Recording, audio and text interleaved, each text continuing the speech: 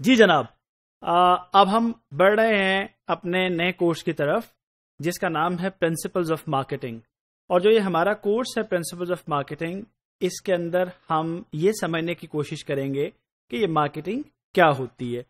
तो मार्केटिंग के बारे में मुझे उम्मीद है कि आप सब लोग जानते हैं। अच्छा अगर आप इसके बारे में थ्रेटिकली नहीं जानते हैं तो प्रैक्टिकली तो आप इसको समझते हैं ना।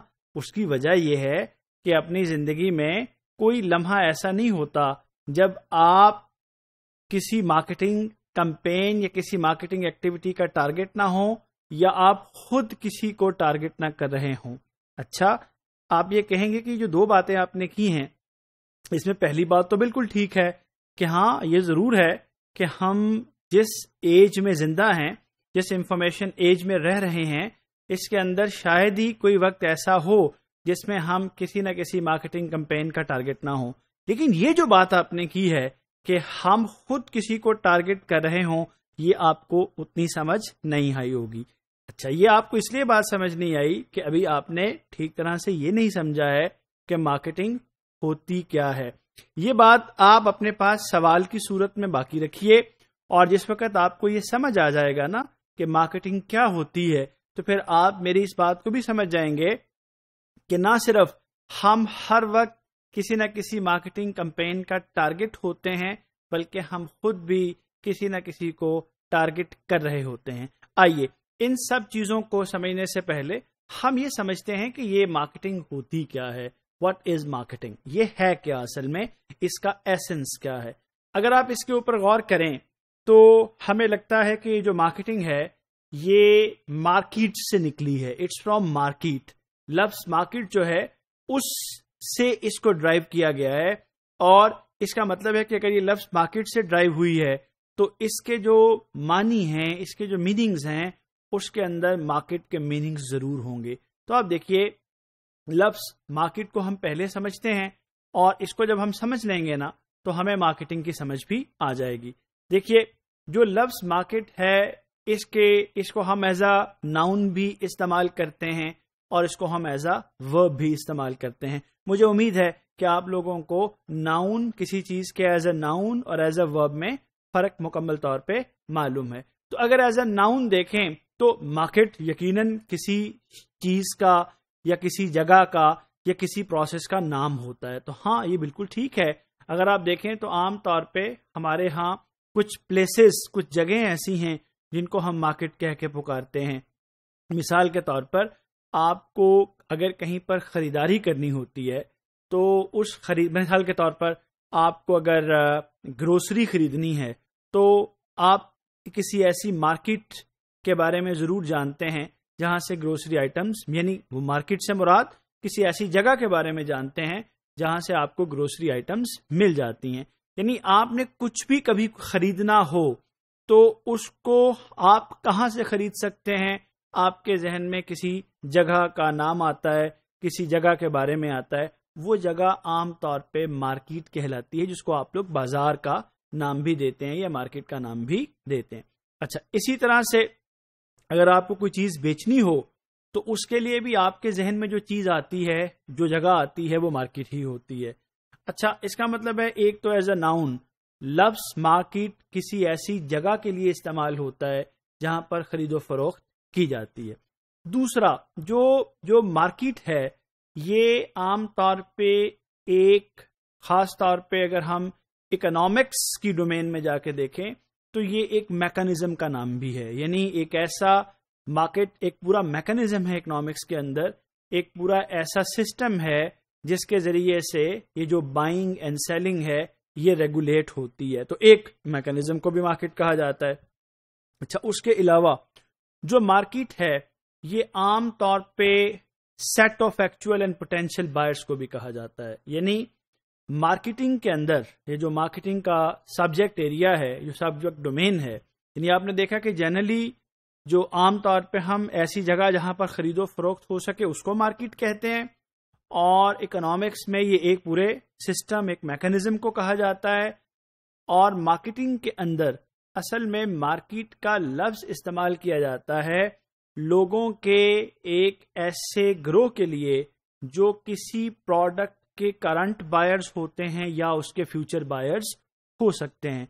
तो इस बात पे जरा गौर कीजिए, यहाँ मार्केट एज अ नाउन से मुराद है set of actual and potential buyers देखिए, मैं एक या दो मिसालें देकर आपको बात समझाने की कोशिश करता हूँ। अच्छा वो जो एक या दो मिसालें मैं आपको दे के बात समझाने की कोशिश कर रहा हूँ।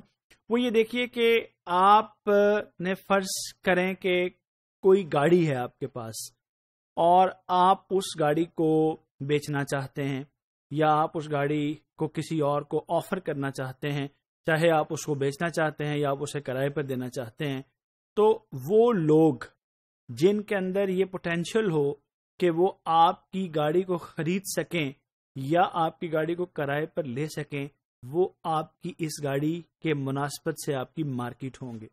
इसी तरह से किसी भी ऑर्गेनाइजेशन की जो प्रोडक्ट्स होती हैं, उनको जो लोग करंटली खरीद रहे होते हैं, या जो लोग उन्हें फ्यूचर में खरीद सकते हैं, वो उनकी मार्केट कहलाते हैं। तो आपको ये बात क्लियर हुई कि मार्केट से मुराद क्या है? मार्केट से मुराद है set of actual and potential buyers तो अब आप एक बात हमेशा याद रखेंगे कि हम इस पूरे कोर्स के अंदर मार्केटिंग में जब भी लफ्स मार्केट इस्तेमाल करेंगे तो उससे आपके जहन में ये आना चाहिए कि इससे मुराद है set of actual and potential buyers actual buyers वो जो अभी इस्तेमाल करें। आप खुद भी तो देखें ना, आप बहुत सारी कंपनी की प्रोडक्ट्स की मार्केट होते हैं, जो कि आप उनकी प्रोडक्ट्स ले रहे होते हैं। इसी तरह से आप बहुत सारी कंपनीज़ की फ्यूचर प्रोडक्ट्स के फ्यूचर बायर भी हो सकते हैं। तो आप किसी के लिए मार्केट होते हैं। तो मार्केट से मुराद जो बायर्स हैं, जो किसी कंपनी की प्रोडक्ट खरीदने की अहलियत रखते हैं या उसकी सलाहियत रखते हैं या उनके अंदर पोटेंशियल होता है, उसे मार्केट कहा जाता है। अच्छा अब आइए एज अ नाउन मार्केट आपको समझ आ गया। अब हम देखते हैं कि एज अ वर्ब मार्केट से क्या मुराद हुआ। अच्छा देखिए वर्ब चूँकि किसी काम के होने या करने से मुतलिक होता है ना फेल होता है कोई काम तो मार्केट जब हम एज अ वर्ब इस्तेमाल करेंगे तो इससे क्या मुराद होगा? देखिए, मैं एक दो फिक्रा बोलता हूँ, जिससे मैं अपनी बात को वाजिया करने की कोशिश करता हूँ। यानी ladies and gentleman I have produced a new product and now I am to market it now I am to market it इसका क्या मतलब है? मैंने यहाँ पर लफ्ज मार्केट को एज अ वर्ब इस्तेमाल किया है। यानी मैं अब उसको मार्केट करना चाहता हूँ। जिससे क्या मुराद है? इससे मुराद ये है जनाब कि I want to take my product to its market यानी इसका क्या मतलब हुआ अब? ये I want to take my product to its market what does it mean इसका मतलब जनाब ये है, क्योंकि आपने एज अ नाउन मार्केट में ये बात समझ ली थी ना, कि मार्केट का एज अ नाउन मतलब होता है set of actual and potential buyers तो इसका मतलब ये हुआ कि जब मैं कहता हूँ I am to market my product तो मैं ये कह रहा हूँ कि मैंने अपनी इस प्रोडक्ट को उन लोगों के सामने पेश करना है जो लोग इसको खरीद सकते हैं। तो देखिए एज अ वर्ब मार्केट का मतलब क्या हुआ? To take something to the potential customers यानी किसी चीज़ को उसके पोटेंशियल या उसके बायर्स तक ले जाने का नाम टू मार्केट है। आप गौर कीजिए, फिर मार्केटिंग क्या होगा? इसका मतलब है कि जो मार्केटिंग है, ये एक प्रोसेस है और ये मार्केट से ड्राइव किया गया है और इसके अंदर दोनों मीनिंग्स हैं। मार्केट एज अ नाउन के मीनिंग्स भी शामिल हैं और मार्केट एज अ वर्ब के मीनिंग्स भी शामिल हैं। तो फिर नट शेल में अगर आप गौर करेंगे तो आप ये देखते हैं कि असल में marketing is process of taking something to market देखिए, यहाँ कुछ देर के लिए रुकिए। और रुकने के बाद ये फैसला कीजिए कि जो मार्केटिंग है, बुनियादी तौर पे ये क्या है? It's process of taking something to market यानी ये एक ऐसा अमल है जिसमें हम कोई चीज़ मार्केट तक ले जाते हैं।